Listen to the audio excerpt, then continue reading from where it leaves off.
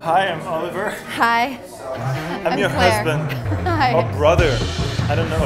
We have the same last He's name. my brother. But uh, maybe it's because she's my sister. He's my uncle. yeah, nobody will ever know.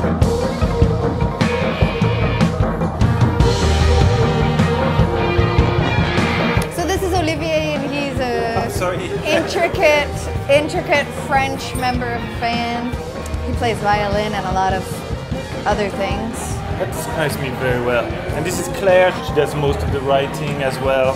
And uh, she plays uh, guitar and some banjo. She sings.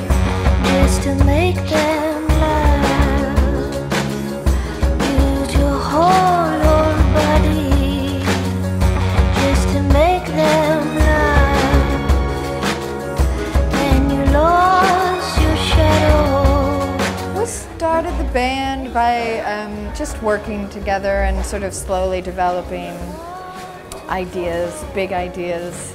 At first, we just started. She was always writing songs, even when she was an infant. Sort of learning how to take our musical ideas and get them on record. And uh, that started with our first record called The Movie.